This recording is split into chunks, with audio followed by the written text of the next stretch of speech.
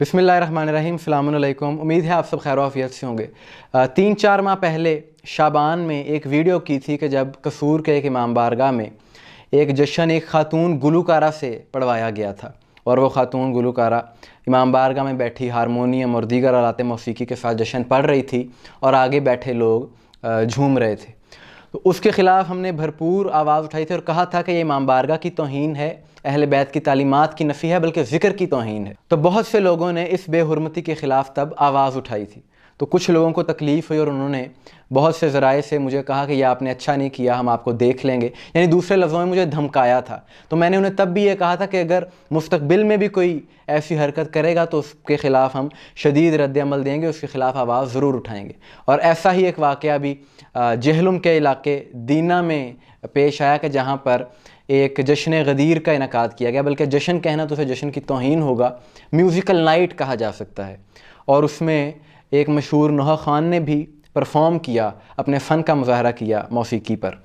और अख्ताम पर एक औरत, एक प्रोफेशनल सिंगर गुलकारा, उसने उस जश्न से ख़िताब किया मौसीकी के साथ, तबला, हारमोनियम, बांसुरी, इन सारे आलात मौसीकी के साथ उसने ईद गदीर के कसीदे सुनाए और आगे बैठे हुए अबू जहल झूमते रहे, दाद देते रहे।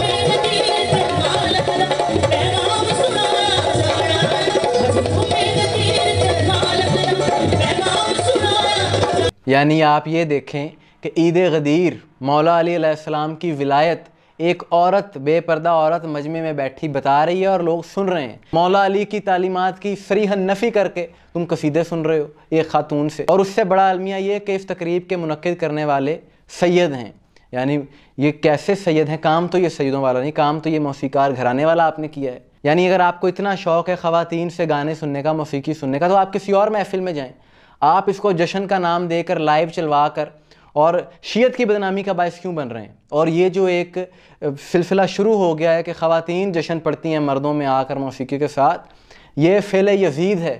बल्कि यजीद भी यही चाहता था कि शरीत मोहम्मदी को अपनी मर्ज़ी के मुताबिक बदलना चाहता था। और आज भी यही हो रहा है कि अपनी मर्ज़ी का नाम दीन रख लिएगा जिसका जो दिल चाहता है वो करता है, अहल बैत के नाम पर। और नाम उसको शीयत का दे दिया जाता है। जश्न गदीर लिख कर लाइव चलवा दिया जाता है किसी अजादारी के चैनल पर। इस खातून से पहले एक बड़े मरूफ नोहा ख़ान ने परफॉर्म किया है मौसीकी पर। और अभी मुहर्रम आएगा तो देखिएगा वो नोहा ख़ान भी और ये लोग जो आगे ख़ातून के बैठे सुन रहे थे, ये लोग किस तरह से फिर मसायब पर गिरिया करेंगे और करबला में जो अहल बैत नबूत की चादरें लूटी गई। उस पर ये गिरिया करेंगे। लेकिन उस पर गिरिया करने से पहले ये तो सोच लेना कि यही काम जिस पर सैयद सज्जाद रोते रहे, यही तो तुमने उनके नाम पर करने शुरू कर दिए शर्म आनी चाहिए तुम लोगों को। और ये लोग जो शरीयत का मज़ाक उड़ाते हैं, इनमें और अहल बैत के कातिलों में ज़्यादा फ़र्क नहीं है। आप कहेंगे, इतनी सख्त बात कर दी मैं आपके सामने। इमाम की हदीस पेश कर देता हूँ, इसी हवाले से। और असूल काफ़ी की हदीस, शिया मसलक की मोतबर किताब। उसमें अली बिन रियान से रवायत है कि इमाम रज़ा सलाम का साहबी, जिसका नाम यूनस है, वो कहता है कि मैं जनाब खुरासानी, यानी इमाम रज़ा की बारगाह में हाजिर हुआ और अर्ज़ की कि अब्बासी कहता है कि आपने मौसीकी की इजाज़त दी है। इन्होंने फरमाया कि वो बेदीन है, झूठ बोलता है। मैंने ऐसा हरगिज़ नहीं कहा, बल्कि जब उसने मुझसे मौसीकी के बारे में पूछा तो मैंने इसे बताया कि एक शख्स इमाम बाकिर अलैहिस्सलाम की खिदमत में हाजिर हुआ और गाने और मौसीकी के बारे में दरियाफ़त किया। तो इमाम ने फरमाया, शख्स ये बता कि जब खुदावंद आलम हक़ व बातिल को अलग अलग रखेगा, यानी जितनी चीज़ें हक़ हैं वो एक तरफ़ रखेगा और जितनी बातिल हैं दूसरी तरफ़ रखेगा तो मौसीकी को किस तरफ़ रखेगा? तो उसने कहा कि बातिल की तरफ़। तो इमाम ने फरमाया कि तेरा जवाब सही है। क्योंकि मौसीकी का ताल्लुक बातिल से है। तो मोमिन ऐसी कई और अहादीस मासूमीन मौजूद हैं जिसमें मौसीकी की, आलात मौसीकी की ममानियत है। लेकिन ये लोग मौसीकी से इस कदर मोहब्बत करते हैं कि इन पर असर नहीं होता, ये फ़रामीन अहल बैत को भी नहीं मानते। क्योंकि मौसीकार हैं, शायद मजबूरी है इनकी कोई। भाई, अगर तुमने ज़िक्र ही सुनना है तो मौसीकी के बगैर सुन लो। ज़रूरी है कि खालिश दूध में गंदगी मिलाकर ही पीनी है। ऐसे लोग जो इस तरह की हरकतें कर रहे हैं ये सिर्फ़ अपनी मर्ज़ी कर रहे हैं, इनका शीयत से कोई ताल्लुक़ नहीं, ना इनके तालीमत अहल बैत से कोई ताल्लुक़ है।